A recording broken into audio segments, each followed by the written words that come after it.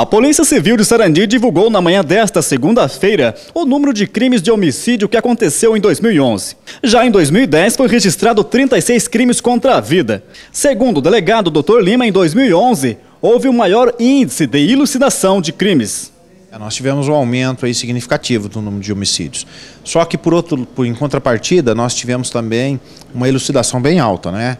Ah, nós chegamos a 95% de elucidação nos homicídios aqui em Sarandi. Inclusive, nós recebemos aí um elogio da Secretaria de Segurança, a Delegacia do Estado, que teve um índice maior de elucidação de crimes contra a vida. Por outro lado, nós temos que trabalhar agora para tentar prevenir esses crimes, fazer uma prevenção para que o crime não ocorra. No entanto, homicídio é um crime difícil de se prevenir, porque ele tem diversas formas de execução. Nós tivemos aqui em 2011 homicídios praticados por arma branca, faca, punhal, e nós tivemos homicídio praticado por instrumentos contundentes, pedra, pedaços de madeira, pedaços de ferro e também tivemos homicídio praticado por arma de fogo. Então o homicídio ele pode ser cometido por diversas formas, então a prevenção se torna um tanto quanto difícil. Nós tivemos homicídio praticado dentro da casa, briga de casal.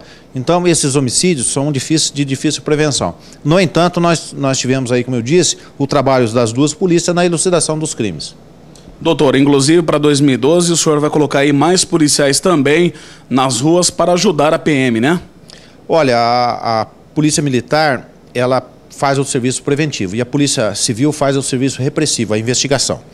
Se, se, houver necessidade, nós iremos colaborar com a Polícia Militar. Mas aí o prefeito de Sarandi criou a Guarda Municipal, que vai ajudar. É, nós temos aí os, os guardas municipais serão treinados, vão ser treinados no quarto batalhão. E o quarto batalhão tem competência, tem, tem os oficiais é, bastante experientes para treinar esses guardas.